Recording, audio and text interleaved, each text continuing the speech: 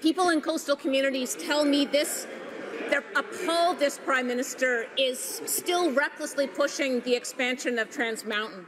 The court ruled the assessment process was deeply flawed and didn't even consider the sevenfold oil tanker traffic increase and the risks it put on orca whales and our coast.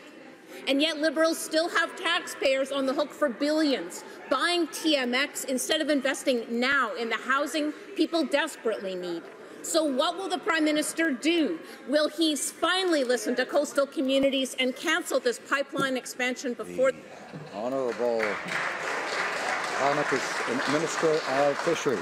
Mr. Speaker, um, in the context of this project, the government took the position that environmental sustainability and economic progress needed to go hand in hand. We followed with that mantra all the way through.